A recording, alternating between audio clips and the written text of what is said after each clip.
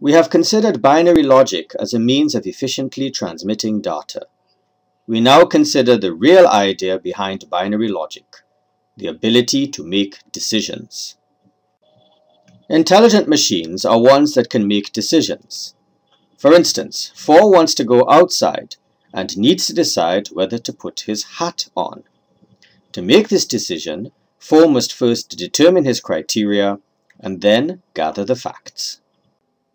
4 will only wear a hat if it's cold. He therefore checks, it is cold, and then decides, I will wear a hat.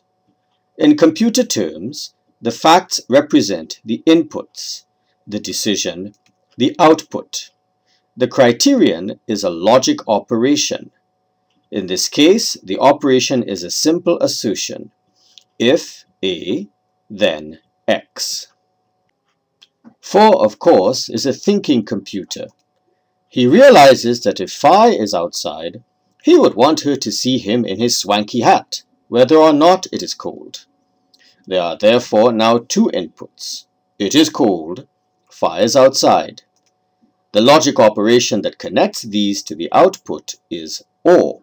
That is, if A or B, then X. Thinking again, 4 realizes that he doesn't mind the cold if it is not windy. So he revises his first criterion to it's cold and it's windy.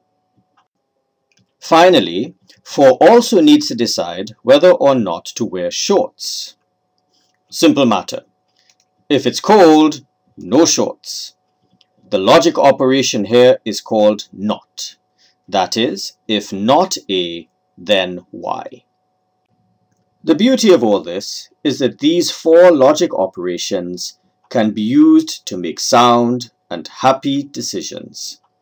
This is in fact the main idea of this course.